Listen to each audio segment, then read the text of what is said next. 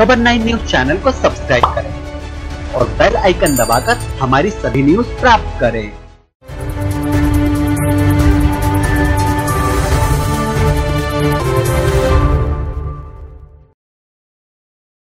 नमस्कार आप देख रहे हैं खबर नाइन और मैं हूँ आपके साथ प्रिया। आइए नज़र डालते हैं आज की मुख्य खबरों पर।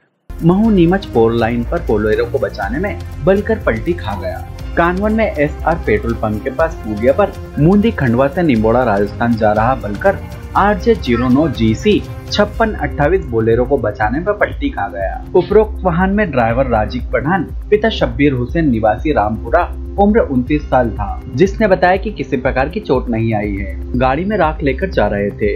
वन साइड रोड चल रहा था। अचानक से बोलेरो वाहन आ गया, जिसको बचाने में ट्रक बलकर पुलिया में जा था।